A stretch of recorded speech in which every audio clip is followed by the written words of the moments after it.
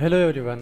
So in this video we will publish our code to GitHub in a very easy way. So I will tell you very easy way. So first of all you have to create your account.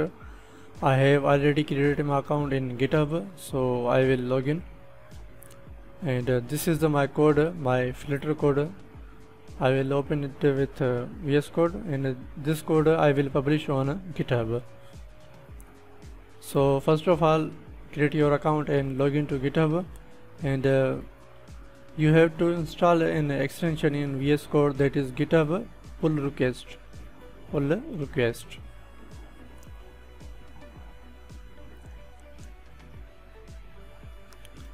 So this one you have to install this and uh, sign into your GitHub. First of all you have to create your account if you don't have. So this is my account. I have login. And uh, this extension has installed I will reload this reload window.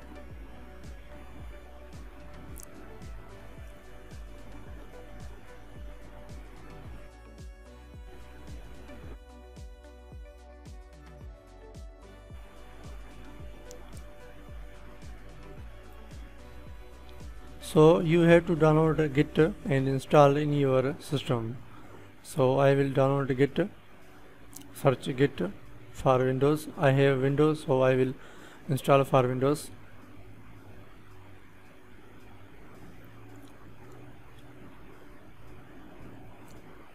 So this one git downloads. Here so if you are using Mac or Linux so you have to install for that but I am using Windows so I will download this for Windows download for Windows.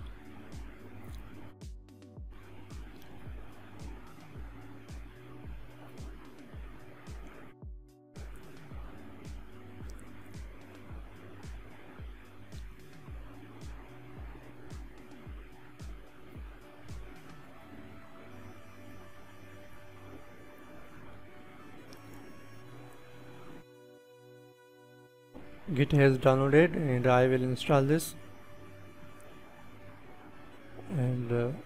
next next. So leave all these settings and just do next next. And let's wait until this uh, install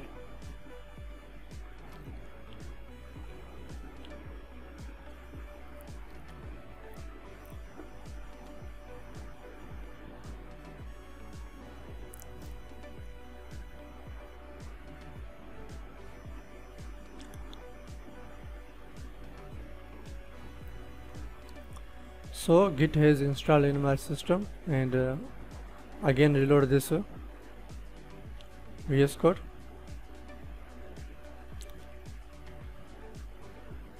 And this is my GitHub account. So when you go on source co source control there will be a button. So this one publish to GitHub so then your file will be uploaded to github and give it a name. So I will leave this threads and uh, you can make it private or public. I will choose public.